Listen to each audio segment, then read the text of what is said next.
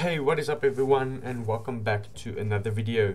Today's video we continue with the MongoDB crash course. So in today's video we'll be doing basic CRUD operations. CRUD stands for create, read, update and delete.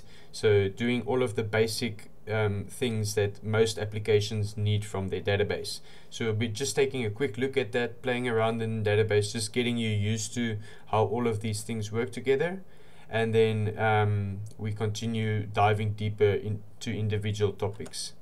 So a concept I want to revisit from the previous video is how MongoDB is structured. So the idea behind a database, a collection, and a document. So the white part represents the server. So on our server, we can have multiple databases. And under a database, we get collections.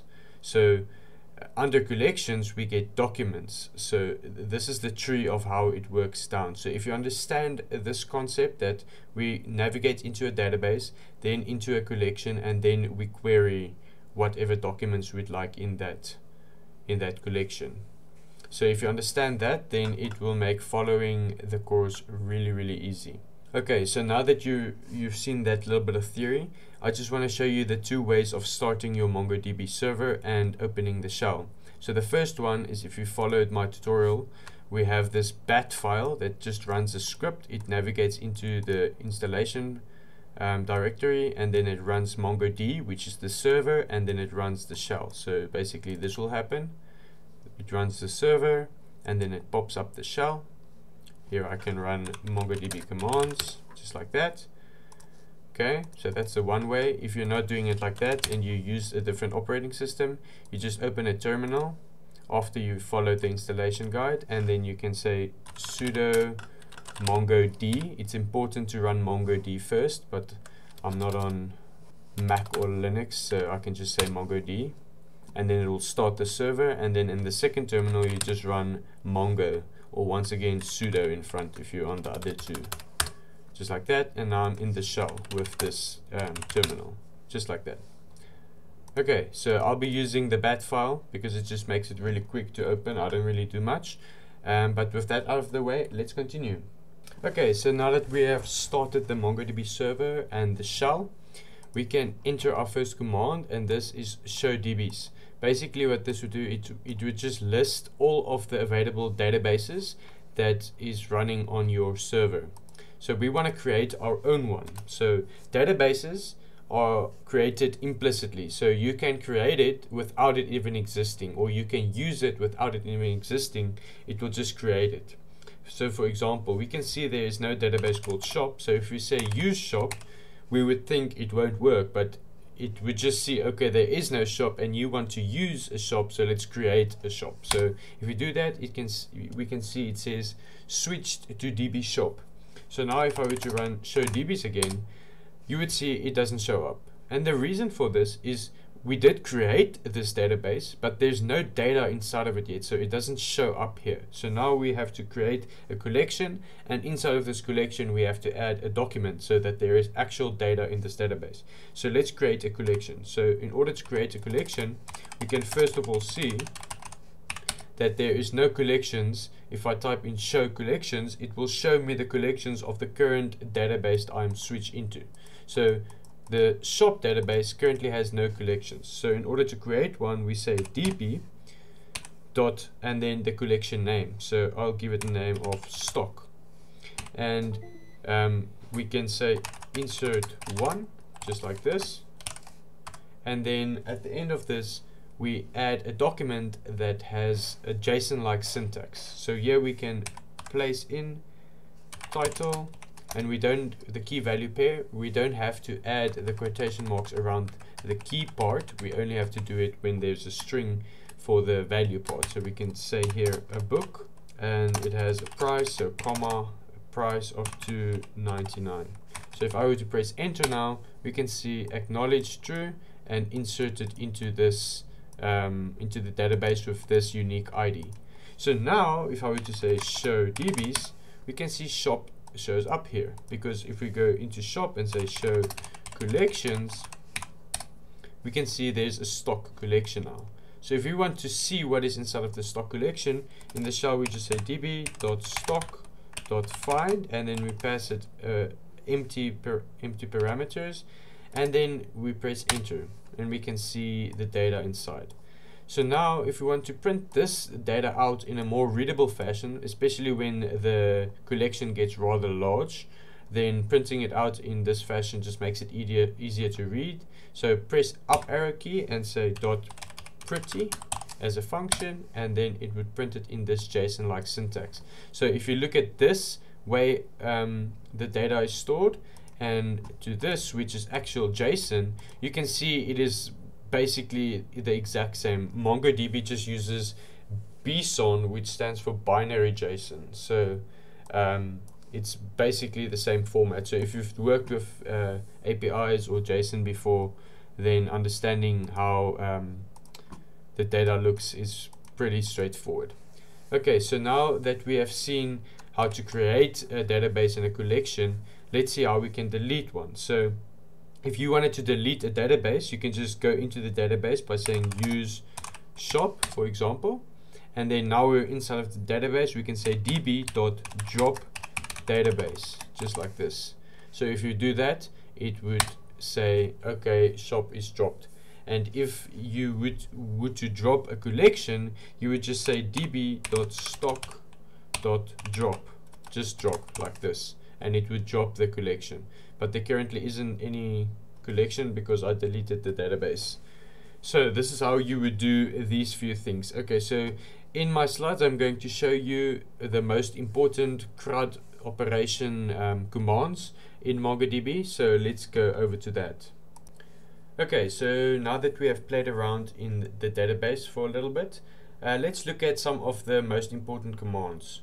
For creating documents, uh, the most important two commands are insert one and insert many. So insert one allows you to insert one data object at a time and then it takes in some options uh, separated by a comma. Then we have insert many that takes an array of data objects and also some options. We'll take a look at these options in more depth when we get to the individual operation videos. Then with the read, we have find and find one. So this is basically the reading, the, the, the querying of the data. So then we have some filter. So you want to find something by some filter. We'll look at how we can structure these filters in the um, individual videos in much more depth and string different queries together to find um, the right data and then the options on both of these would be some type of projection if you would like to change certain fields to show or not.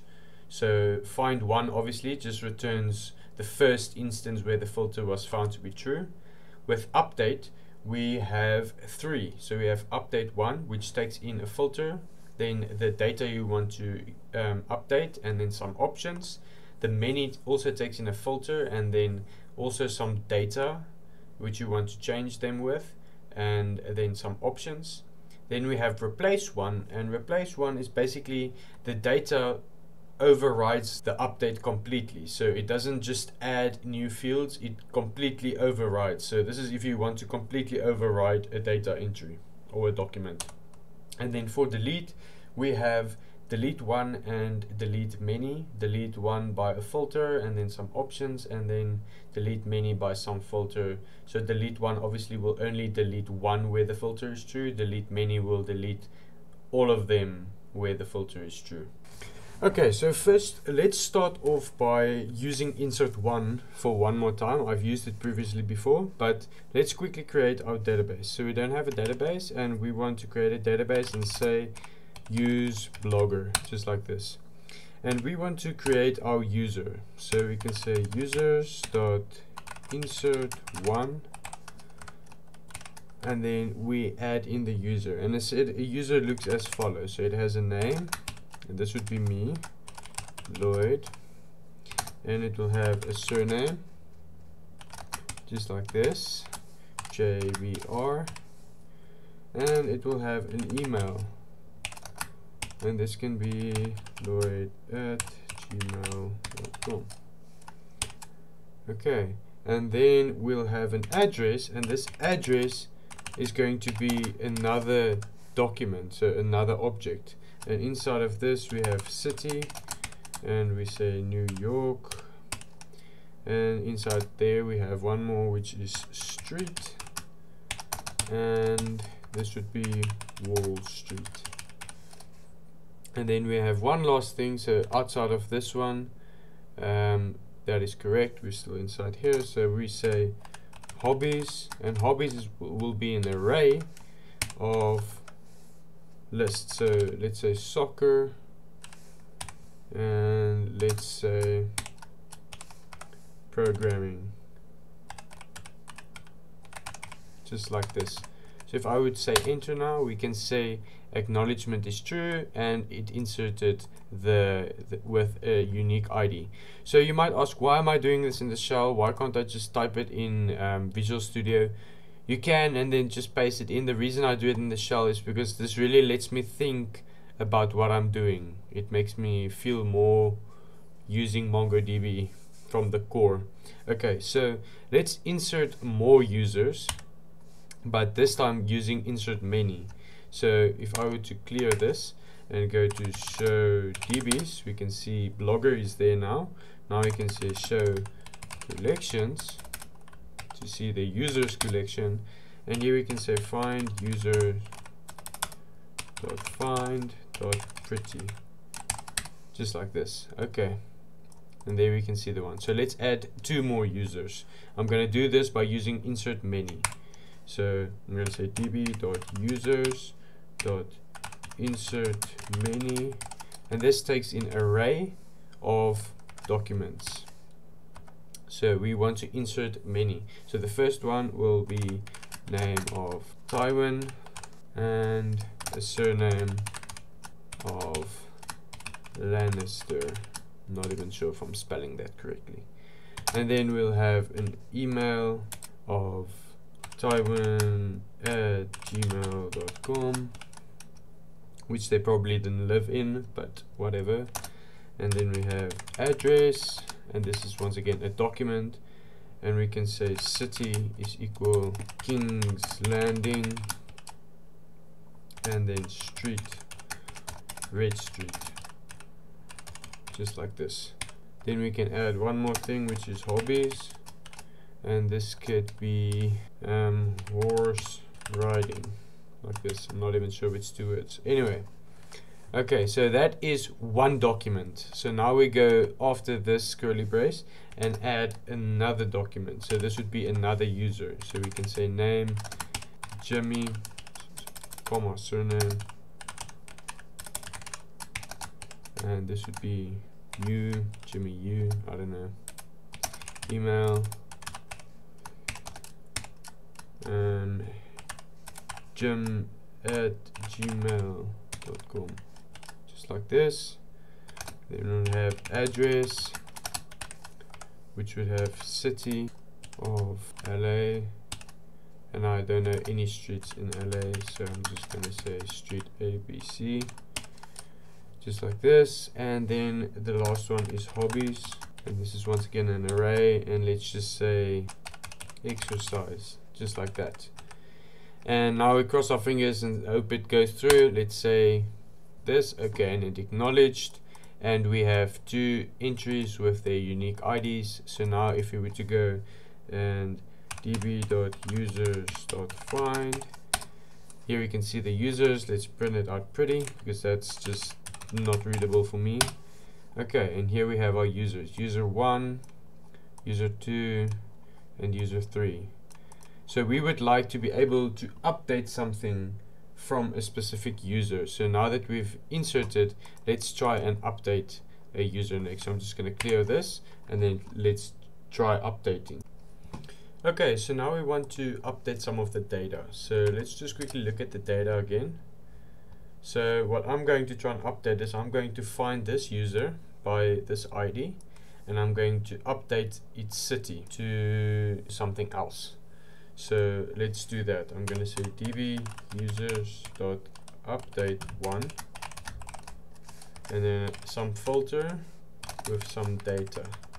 The filter will be where the underscore ID is equal to this ID. So I'm just selecting it just leaving it like that and then right clicking twice and then it pastes it in okay and now I want to set something on this user. I said I wanted to change the address um, city. So I want to change the address to whatever I want to.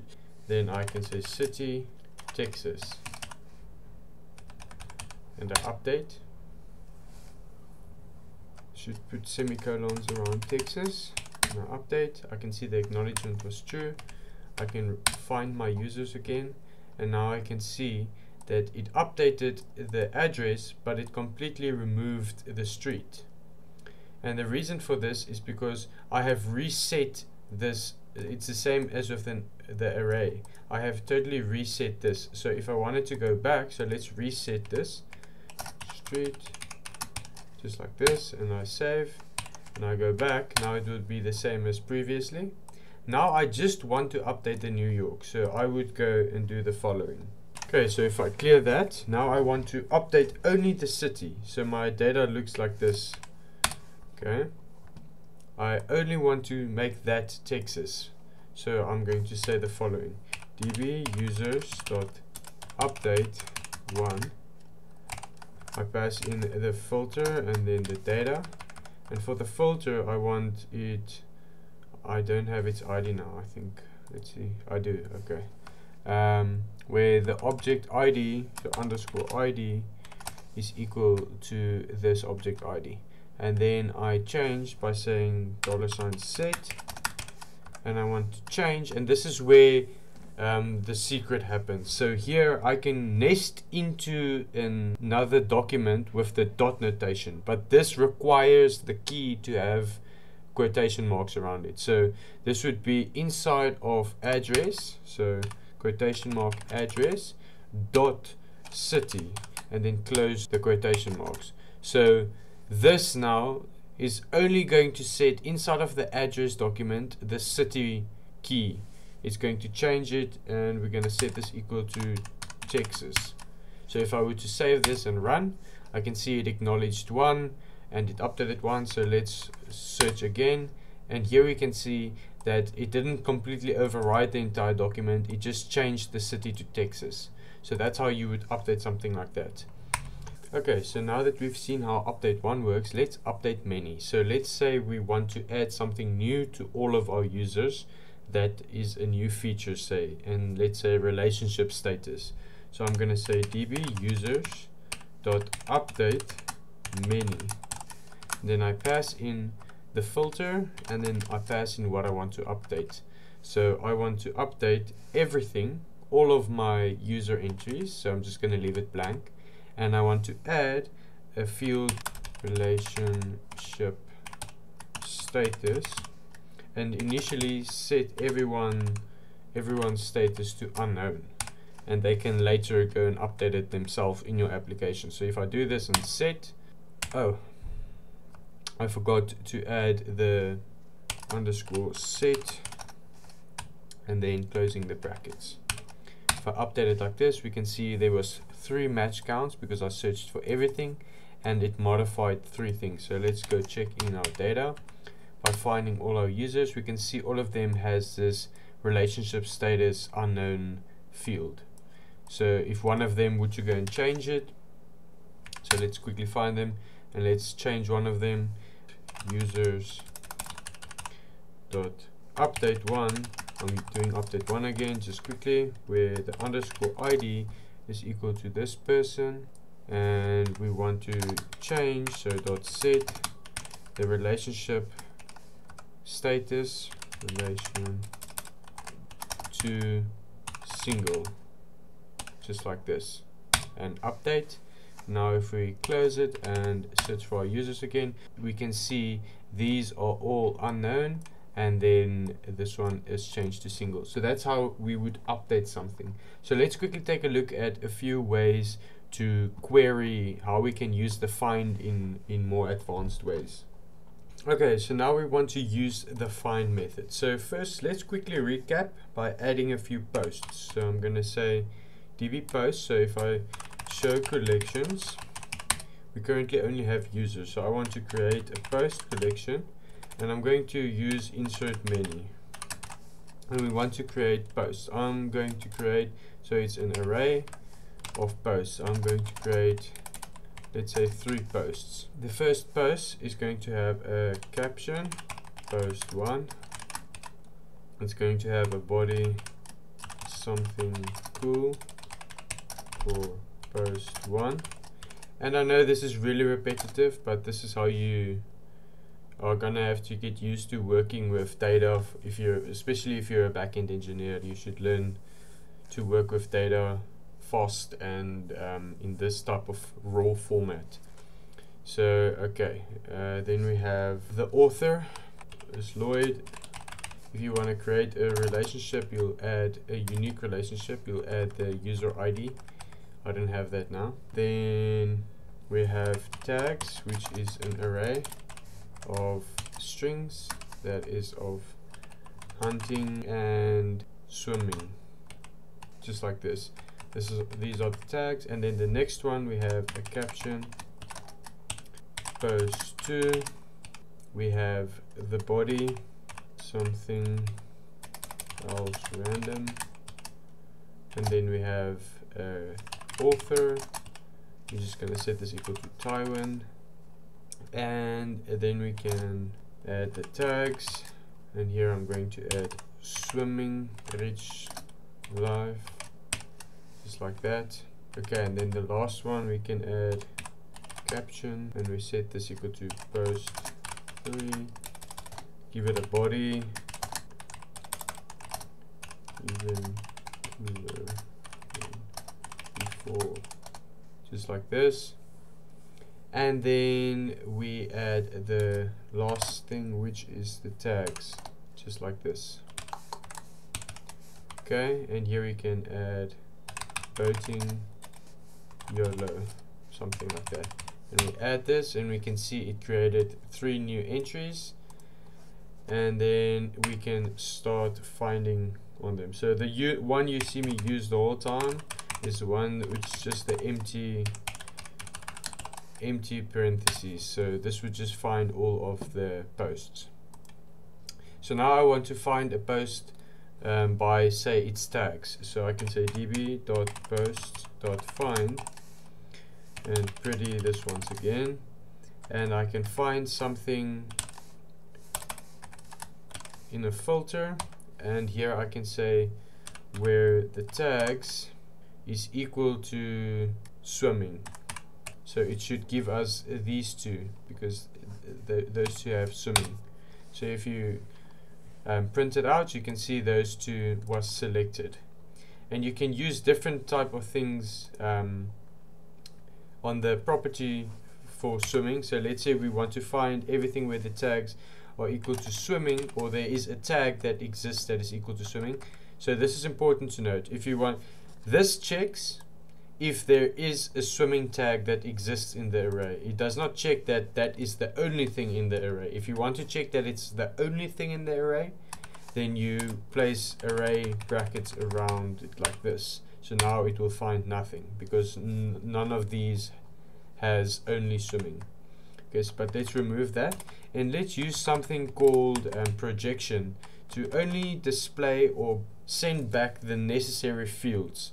So I want to find every post where the um, tags contain swimming and I only want the author's name. So here I can say author and set this equal to 1 and then, then if I press search I see it printed out these two. It gives me the ID it always sends you back the ID as well and then the author name. So this is something called projection so I projected it by adding the options um, object and inside of the objects I specified author with a 1 so 0 would be false. So if I for instance don't want to show this um, ID I can up arrow key and with the underscore ID you should specifically say 0 for it to not show. So now if I did um, press enter you only see the author's names. So and then the last I think CRUD operation so we'll dive deeper into more finding operations in the individual video but um, the last thing for CRUD operations will be the delete one and delete many. So if we go back to the users and say db.users.find pretty, we can see all of these that has a relationship status of unknown I want to delete. So that would be a delete many. Um, or for instance, if you only want to delete the first one you find that has an unknown, it will delete only the first one it finds to be true. So let's delete one. Okay, so I'm first going to do something that lets us delete this entry right over here. So I'm going to say db.users.delete one. I send in some filter and in here I want where the name is equal to Jimmy just like this. Sorry Jimmy. Okay there we have deleted so if I clear and I search the users I only see two. And another neat thing you can do if you don't want to see how, how all the data you just say count. And then it just gives you the, uh, the amount of um, documents inside of the collection. Okay so now if I wanted to delete um, the users that has an unknown relationship status. So here I'm going to say db users dot delete many because I know it's more than one. And here I can say where relationship status is equal to unknown. Just like this. Boom. And you can see acknowledge true and it deleted two. So now if I were to go back to db users dot find I will see nothing is being returned because I just deleted everything. Okay, so this is basically um, this for this video. I just tried and went over all of the basic things so you can see how the rest of this course will be going. I would mainly be using the shell. I would giving little scenarios and then I would just play those queries out inside of the shell, inside of the shell, so that you just um, get the typing experience and the muscle memory with the learning of why and how. Okay, so that is the end of the video today. Um, I just have to mention that the most important things and the in detail work is going to be done uh, in these sections, these CRUD operations sections where I focus on each individual aspect of creating, reading, updating, and deleting data from your MongoDB database. So these um, first few is just to get us to understand what exactly are we doing and why are we doing it, and just working with terminology and just playing around a little bit to get the feeling of what is going where. So stick with me through this course, and then um, hopefully at the end you got a lot out of it. But uh, Thanks, this is all for the video for today, and then I'll see you in the next one. Cheers.